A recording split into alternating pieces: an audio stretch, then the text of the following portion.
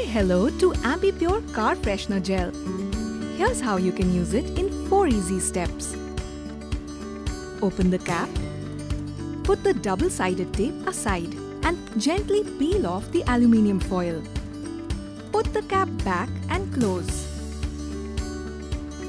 Now place Ambi Pur Car Freshener Gel directly in the cup holder or stick the double-sided tape on the bottom side before pressing the product to the dashboard.